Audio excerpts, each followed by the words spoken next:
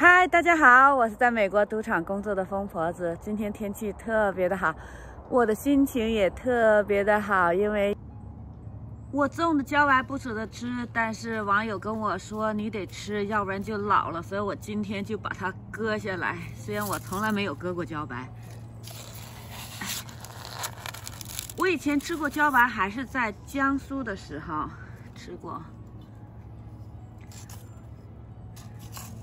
请问这个要搁哪儿啊？搁这儿。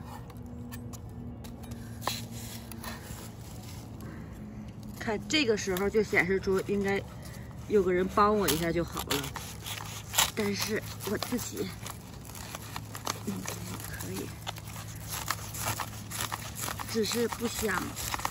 割坏了别的蜘蛛，OK，哇，你看我收获的第一个茭白，我太开心了。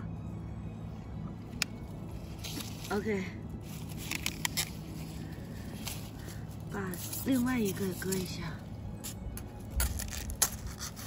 另外一个是这个，真的好难哎，这个。OK，其实它们很嫩的，我只是不想多割，我害怕把其他的蜘蛛给割坏。啊！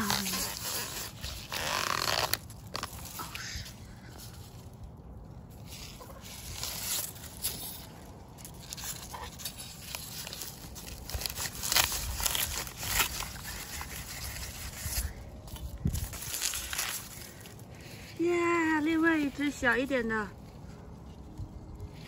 这样我一共就得到了两个茭白，我太开心了！我要把这个皮扒一下，看一看它到底长得怎么样。今天晚上就可以做一个茭白炒肉。这就是我得到的两个茭白，简直太开心了！我是春天的时候在网上买的这个茭白苗，大概有七颗，现在它就长出来了，呃，两颗茭白，其他的还在继续生长中。不过我估计天气冷了，可能也结不出茭白来了。但是得到两个，我还是非常的开心。明年再接再厉种茭白。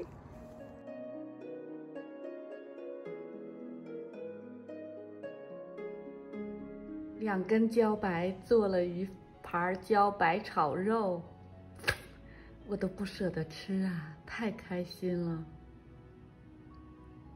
终于茭白自由了。